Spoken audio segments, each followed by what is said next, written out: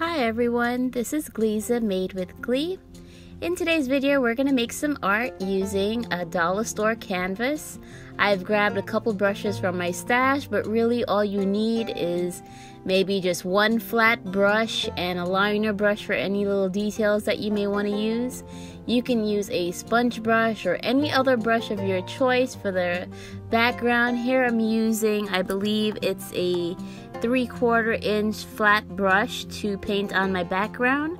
I am just taking some gray paint that's watered down and um, you know just brushing it on and taking off the excess with a rag. And when that's dry I go back over and add a little bit more shadows and details. And I've shown you in a few of my other previous uh, videos how you can create different backgrounds for this farmhouse look for the planks.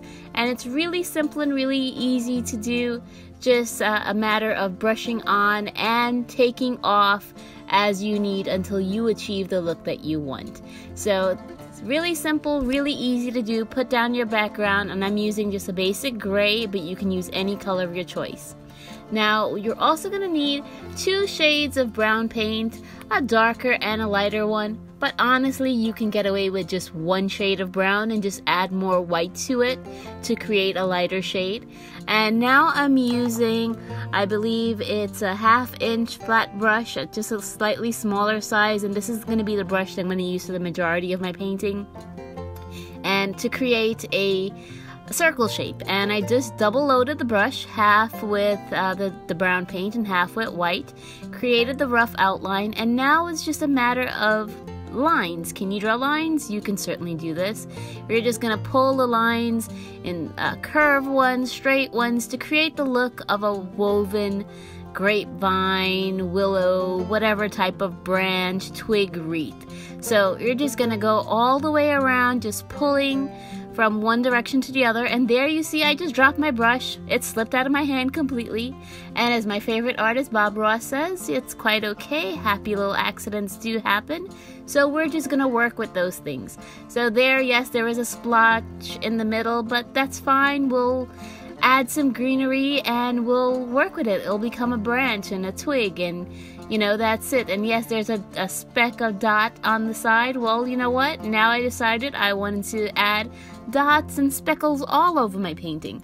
So just work with your happy little accidents and don't let them bother you, which I certainly don't. So once I have a wreath shape to my liking with the browns and the two shades of brown, I'm now picking up white and a darker shade of green. And again, on a chisel, which means just having your brush in a 90 degree straight angle and pulling you're putting your brush down and pulling towards you. You're going to create little pine branches. Now here's a trick. If you want it to look as if the snow is on top, have the white be on the top as you're pulling down. If you want it to look as if the snow is settled into the branches, then have the green on the top and pull downwards.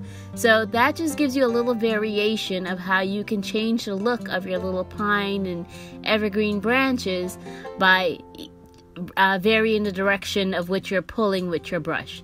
So again, if you're pulling with the white on the top and the green on the bottom half of the brush, you'll look like the snow's on the top. And if you flip it around, it'll look as if the snow has settled and kind of melted and more of the greenery is showing.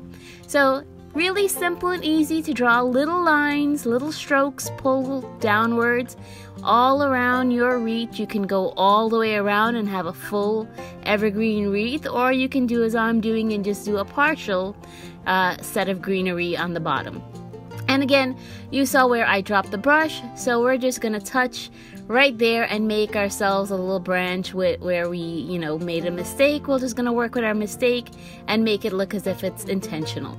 And once I have enough um, pine and evergreen branches to my liking, and you again can decide exactly how much or how little, how thick, again, if you want it all the way around, you have the complete freedom to make as much or as little as you would like uh, with your greenery.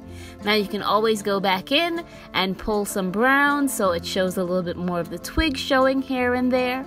And now I'm going to take some red paint and it doesn't really matter what color red, any red. And again, it doesn't matter what color green, any color green. With the white you can you know vary and make any shade. And i am not a brand specific type person. I'm not going to recommend one brand over another to you.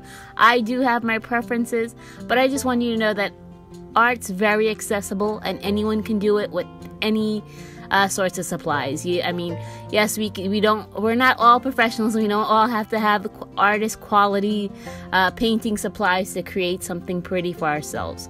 So once I draw my little berries on by just uh, using my brush and you know doing half circles I'm just adding little white highlights to the berries and here and there I'm using a little liner brush to add a few more little sprigs of greenery coming in and out and that's really simple and easy to do. Again, you can decide, you know, how much or little you want, how many berries, if you wanted a full bunch or just a few.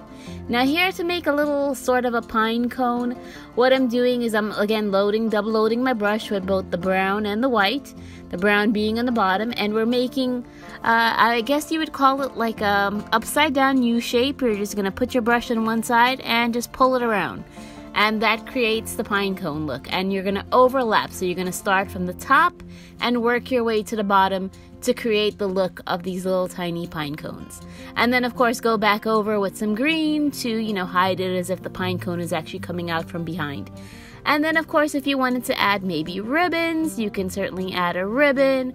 You can do whatever you like. Now, for the ribbon, I'm just using the same red color with a little bit more white and just uh, making two loops and two streamers. Really simple and easy again. Anyone can do this. I don't want you to be intimidated by art or think that you can't do this or it looks complicated. It is not. It is super easy. And again, anyone can do this. So just pick up a brush, grab a canvas from the Dollar Tree, and create some art with me. Join me, like I said, you don't have to have the most expensive stuff or not. Now, here I'm just using one of my um, uh, what do you call this brush? It's like uh, the one that you pounce with, I'm not sure, like for stencils to create speckles. But if you had a toothbrush or even the end of a tiny, a skinny brush you can use to create dots on your painting. And again, you don't even have to do that. This is just completely optional. But since I made a little mistake and had a splatter fall on it, I decided to go with that splatter look all over my painting to give it that more rustic farmhouse feel anyway. Now here is a specific tool that they sell that if you are into painting that you can buy to create um, speckles all over your painting. It's a little messy and it does get all over the place, but it's a really great tool, especially if you do any uh, type of snow scenes, uh, night scenes, and you want to sprinkle snow or stars in the sky. It's a great tool to have. I don't know what the name of it is though, um, but definitely something that you can get. Now here I just went back in with a different shade of red because uh, some parts I felt like my berries and my ribbon blended in a little bit too much. So I'm just touching up the berries with a little bit brighter shade of red. But that's again really simple, really easy to do. Now, of course, you know me, I like to be a little bit of a mixed media. I like to add stickers and letters and things to my paintings. And here I'm just using these glitter snowflake stickers from the Dollar Tree. About five of them just randomly scattered on my painting. You don't have to do that, that is completely optional. If you don't want to add anything else to it, you can call it done and be done with it. Just sign it, and that's it.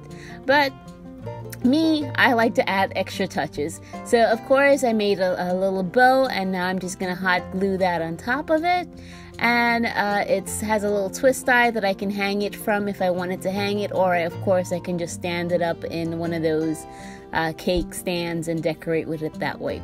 So I hope you guys like my very, very easy painting. I hope you are not intimidated at all.